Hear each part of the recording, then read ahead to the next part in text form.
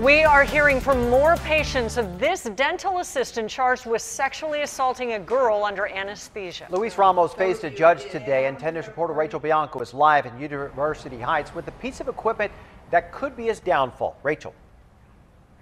Stephen Kimberly, you can see a surveillance camera outside of this building. There are also cameras in all of the exam rooms, and the prosecutor revealed this afternoon that one of those cameras was rolling during the assault.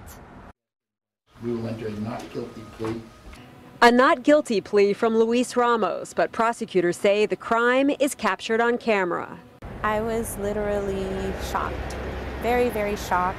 This woman doesn't want to show her face, but told us Ramos was the assistant when she had surgery here at Park Boulevard Oral Surgery and Implant Center. And when you see things like this, you wonder was it me or did this happen to me? Ramos is now charged with seven felony counts of sexual battery. Prosecutors say he assaulted a 17 year old girl while she was under anesthesia.